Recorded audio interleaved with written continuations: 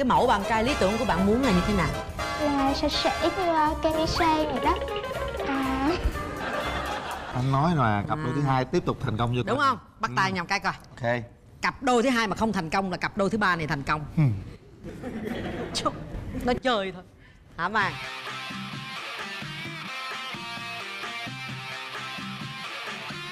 xin mời bạn nữ bước ra sân khấu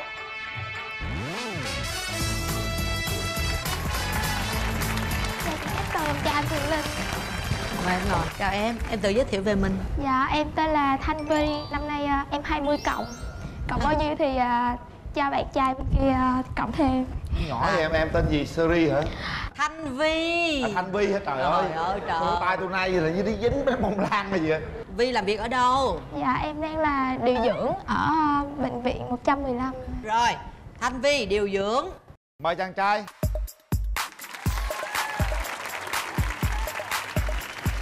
mời bạn ngồi Dạ, em chào anh Quyền Linh, chào à, quý vị khán giả. Em tên là Trung Nghĩa, năm nay em 24 ạ. Em là quản lý nhà hàng. Ờ, nói vui vui giống như là mama vậy đó. Ờ, công việc à, về à, món ăn, thức uống, rồi từ các bạn nhân viên sắp ca làm việc, rồi từ à, điện đốm kỹ thuật là em phải làm hết. giỏi quá nha Dạ. 24 tuổi mà quá giỏi luôn ở nhà hàng rất là nhiều cô gái xinh đẹp tại sao chưa tìm được một nửa cho mình Trong nhà hàng thì nhiều người đi ra đi vào thì đúng là có người hình mẫu của mình. Nhưng mà em không có bắt chuyện được với lại công việc của em nó cũng lu bu nữa thành ra là lắm lúc thì thấy người ta vừa ý quay lại nhìn cái thôi chứ cũng không có nói chuyện được. Vi à, vi có mối tình nào chưa? Dạ chưa ai yêu em hết á. Từ xưa giờ chưa có mối tình nào? Dạ. Có nắm tay hôn hết gì chưa? Em chưa có cảm nhận được chị ơi. Giờ có muốn cảm nhận không? Dạ có. Mình giới thiệu một chút xíu về ưu điểm của mình đi. Ưu điểm của em là biết nấu ăn Mà nấu ờ, chè hành cháo Còn là sao nó chè bỏ muối vô hả? Nói chung là nấu sao mình thấy thành giống như là cháo luôn rồi đó. Nó đặc luôn đó chị. À. Dạ. Đó là ưu điểm đó hả? Dạ ưu vậy điểm vô nhà hàng chắc ba bữa. Cái đó là ưu điểm mà gọi là nấu một món mà ra được hỗn hợp đó chị. À. Dạ. Thì còn khuyết điểm? Khuyết điểm của em là make up chụp hình rồi đăng facebook rồi đếm like. Hả? Lúc nào cũng chụp hình đăng lên facebook ngồi cả ngày làm chuyện đó hả dạ không nói chung là khi nào mà vắng người á chị em mới dám ờ, mà gọi là nổi loạn. Cô này có ưu khuyết điểm lạ quá nha. Hay quá còn bạn ưu điểm khuyết điểm như thế nào? Do là từ nhỏ đó ừ, em tự lập sớm cho nên là những cái vấn đề trong công việc hàng ngày thì em đều ờ, có thể tự lo được hết em tự lập. Bạn là một người quản lý tôi tin chắc rằng bạn là một người rất là khắc khe trong công việc. Thật khó tính nữa Dạ. đúng không? Dạ đúng ạ. Em trong con người em thì nó có hai cái tính cách rõ ràng trong công việc thì phải nguyên tắc phải đúng phải chuẩn. Như vậy thì em nói người ta mới nghe. Còn về con người thứ hai của em là em ờ, rất là tốt tính em ờ, dễ mũi lòng. Nếu như cô vậy. kia nãy giờ xin vào việc quản lý thì tính sao? Tạm được tại vì có được cái giọng nói rất là hay dễ lấy lòng ờ, những cái vị khách của mình. À khuyết điểm của cổ á, ảnh hưởng gì công việc không? Khuyết điểm đó thì có khi nó lại là cái ưu điểm đối với em tại vì nhà hàng của em cũng cần quảng bá thành ra có biết đâu có được người mẫu sẵn rồi quảng bá luôn sao? Nghe bạn trai nói vậy mình cảm nhận như thế nào? Thấy ờ, hơi thú vị. Hơi thú vị. Cái mẫu bạn trai lý tưởng của bạn muốn là như thế nào? Là sạch sẽ như uh, Kenny vậy đó. À, à, em thích con trai phải sạch sẽ. Sẽ nhanh Nguyên Linh được không? Em chưa biết. Em thấy là Kenny Sang ờ, trang điểm đồ. Ý là thích con trai trang điểm? Không em thích là sạch sẽ thôi. Rồi sạch sẽ là khác mà trang điểm là khác bạn ơi. Dạ. Rồi cái điểm gì ở bạn trai thích nữa? Cao đẹp trai nhà giàu giỏi. Cao đẹp trai nhà giàu giỏi. Cho nên giờ phải á đó chị. Điểm gì không thích ở bạn trai? Hút thuốc. Ở giờ. Còn gì nữa không? Dạ không. Như đó được rồi. Nhiều đó là thấy muốn chết người ta rồi nhiều đó được rồi nữa. Bạn nam nói giờ nghe cái thích và cái không thích của bạn gái thấy có cảm tưởng như thế nào em thấy thích em thấy cũng phù hợp tại vì ờ, em cũng có cái gu như vậy đó. Trời đất ơi. Của bạn không có thấy là nó không có được thực tế nó hơi ảo ảo hả? Ờ, nếu mà ở mức độ vừa phải thì nó là những cái ờ, cái điểm hay mình cần phát huy ạ. Bạn trai bên đây á là một người quản lý và một người à, tự vươn lên. Tôi nghĩ rằng bạn rất là bản lĩnh và vững chãi. Để tôi xem cô gái bên kia thế nào nha. Giọng cứ như búp bê á trời. Em khỏe không? Dạ khỏe. Khỏe hả? Dạ em cảm nhận anh bên kia thế nào? Em cũng không biết nữa. Em nói nó men men đó hơn em. Men men hả? Dạ. Em cũng men lắm à dễ thương à giọng dễ thương à. Giọng này nấu cơm không nhão thua. Mà hôm nay bạn đi đến đây với ai? Dạ em đi với mẹ em. À chào cô. Chào Quốc Thường, chào Dạ. anh Linh ạ. dạ. Cô có hối thúc ờ, em nó ờ, có bạn trai tìm hiểu chưa cô Bé từ nào giờ bé không có bạn trai. Đi làm về là bé chỉ ở nhà, bé chỉ thích chụp hình lên Facebook thôi. Cho nên là có nói là thôi con đi tìm bạn đi. Cô biết sao chưa? Có người yêu không? Tại cái giọng á ta tưởng trẻ con quá tưởng đâu mới 11, 12 tuổi đâu dám yêu. Dạ. Dạ, giọng cô- đâu mà tiếng ghét luôn à. cô thấy cái bạn ngồi bên kia sao cô?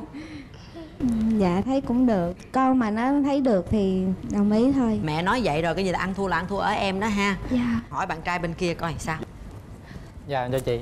À chào em. Em thích cái mẫu người bạn gái thì sao? Và cái ờ, mẫu người ờ, bạn gái của em là phải chuẩn. Chuẩn là Ờ, cái gì? về cơ thể và cả về à, tâm lý và ờ, con người nữa. Về cơ thể thì à, phải chuẩn chút giống như cỡ à, Harry Won vậy đó. Bên À. Candy Sang bên Adi Won. Ngực thì phải to. Cái số đo ba vòng là phải à, số 1 vòng 1 phải 85 vòng 2 là khoảng à, 70 75 và vòng 3 là phải 85 trở lên. Chị nè đây nè. Thấy chịu không? Trời ơi cái gì mà đặt cái yêu cầu tùm lum vậy? Cái đó là về ngoại hình còn về tâm tính, lý nữa là sao tâm về lý? tính cách là phải à, nhẹ nhàng Ừ. à, phải dễ bảo. Em không thích những người à, con gái hút thuốc um, xăm mình hay là nhậu nhẹt? dễ bảo là sao? Thì ở trong tình yêu á về quan niệm của em là mọi người là phải chia sẻ với nhau. Nếu mà hai vợ chồng hoặc chia sẻ với nhau thì lúc đó đó là dùng từ chia hơn. sẻ sao dùng từ dễ bảo? Dễ À. bảo là đặt đâu ngồi đó búp bê à? Dạ không. Câu hỏi cuối cùng thì bạn biết tại sao bằng công việc ổn định là bạn bị ế không? Có lẽ là do em ờ, suy nghĩ nó hơi chín chắn quá đi. Em muốn là những người em ờ, yêu á thì phải tìm hiểu rõ ràng kỹ lưỡng xong rồi mình ờ, thấy hợp với nhau. Thì lúc đó bạn đời mình sống mới lâu được.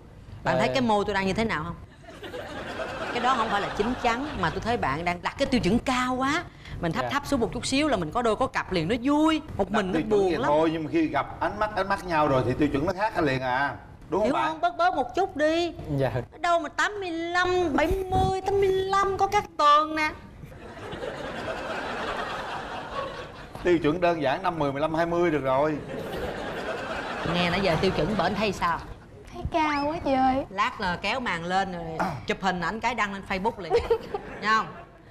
Biết đâu gặp nhau ờ, có điều gì đó đập vào mắt nhau thì sao? Kéo màn. Đứng lên em tạo dáng cho chị đứng em ởn ra. Đó em tạo dáng. Hai phút gặp nhau bắt đầu. Ờ, anh nói đi. Anh nói hả? Hỏi số đo em nhiêu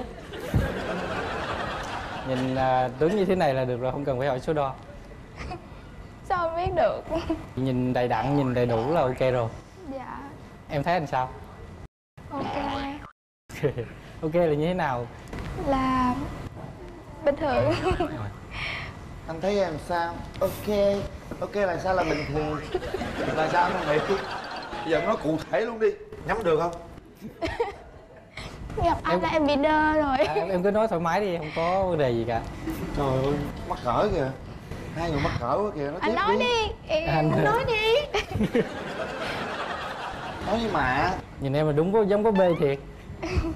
Nhìn anh thì giống hoàng tử. Anh thì anh thì anh thì không có hoàng tử gì đâu anh chụp hình chụp hình nhau đi Ừ. chụp hình đăng facebook. Anh có thích sống ảo không Ờ, anh thì thích sống thực nhiều hơn. Cái lúc mà mình cần xả stress thì mình sống ảo thôi. Còn bình thường thì mình cũng phải quay về với cái hiện tại lo cho cuộc sống rồi lo cho gia đình cái thứ nữa. Nhưng mà em là người sống ảo lắm á. Để anh xem là sống ảo đến mức nào xem coi anh có thể chỉnh được hay không. Tại vì nếu mà anh chỉnh được thì anh bảo đảm em là cái sự ảo của em nó sẽ anh chắc chắn chỉnh được em không? Cho cơ hội cho anh là anh không bao giờ từ bỏ. Có muốn anh ờ, thay đổi cái gì không? Ví dụ như về bề ngoài về phong cách nói chuyện cái thứ đâu số đo ba vòng của em không có chuẩn đâu. Ờ, nói chung anh thích người mẫu người đầy đặn cơ còn về chuẩn hay không thì nó liễu lự hồi nãy mới nói rõ ràng phải chi nó ờ người cân đối gì đặt ra số đo tám mấy ba mấy rồi ngực ngực bự ngực to giờ hồi nãy nói rõ ràng ràng. Bây giờ liễu lự dễ sợ. Sao giờ anh hạ xuống vậy? Ờ, tại vì ờ, chuẩn thì mình làm thước đo đây ở cái mức vừa phải chấp nhận được thì mình vẫn chấp nhận. Anh trả em nhiêu điểm 7 điểm. Xong được 10 anh anh ờ, mười thì quá anh không nói được. anh không biết gọi là định em rồi sao được đúng không? Phải định.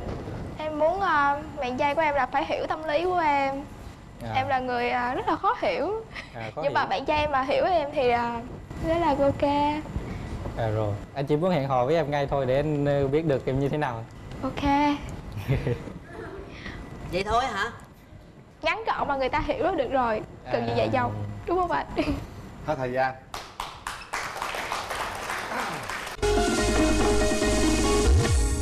Chúng ta sẽ có 3 tiếng đếm mời bạn nam đặt tay vào nút bấm. Và quyết định có nhấn nút hẹn hò với nhau hay không. Ba. Hai.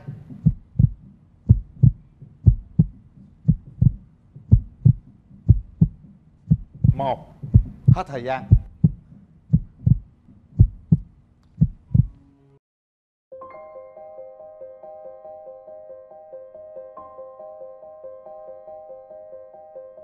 sao sao bạn không bấm em chưa thấy gọi là xét ái tình gì hết á. Vậy sao hồi nãy người ta hỏi ờ, hẹn hò bạn ok? Hẹn hò là mình hẹn hò trên facebook anh ha. À, sống ảo mà. Cơ hội này nó mất ra thì em sẽ tạo cơ hội khác thôi. Không có không có bi quan. Không bi quan ha. Tôi nghĩ rằng đây là một chàng trai à, rất là bản lĩnh. Hy vọng rằng ở ngoài đời chúng ta sẽ trở thành những người bạn rất thân với nhau. Và biết đâu ngày nào đó thì à, các bạn sẽ hiểu nhau thì sao cảm ơn hai bạn đã đến à, tham gia chương trình. Chúc hai bạn sẽ tìm thấy được cái sự rung cảm của trái tim mình ha. Và Dạ. đây là phần quà dành cho hai bạn à, nước xịt thơm miệng thảo dược relax. Cảm ơn. Hai bạn. Anh có nghĩ là cổ không bấm không? Anh nghĩ là cô bấm đấy chứ. Ồ em cũng bất ngờ em Anh cũng bất ngờ. cổ không bấm tại vì khi hỏi cổ ngắn gọn lắm là ok. Có lẽ là do cũng à, sợ mẹ ngồi đây ha cũng áp lực hình như mẹ lắc đầu là cô ấy không bấm đâu thấy mẹ đâu có lắc đầu. Do anh này anh không có tân bóc cổ lên Không, cổ anh- sống ảo mà. không anh này cũng đúng đấy. Anh anh Có sao nói vậy anh đúng bảo không? Ừ. vệ quan điểm của anh này. Anh này sống rất là thật. Vậy là bữa nay linh đoán sai rồi. Cũng có khi trúng khi sai chứ đâu phải lúc nào Đó. trúng hết đúng không? Mà nãy em nói sao nếu cặp đôi đó không thành thì cặp đôi này thành. Mình sẽ thành. À.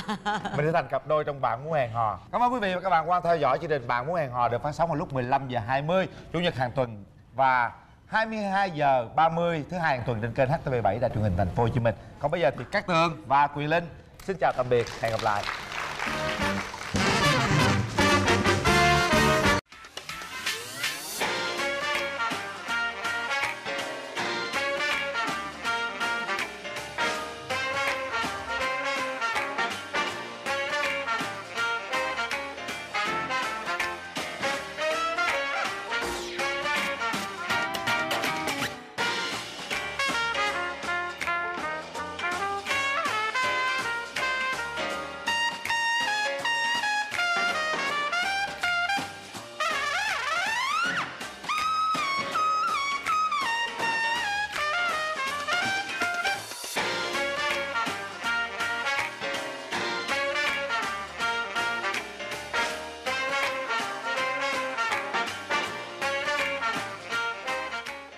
Chương trình do Đài truyền hình thành phố Hồ Chí Minh cùng công ty MCV hợp tác sản xuất.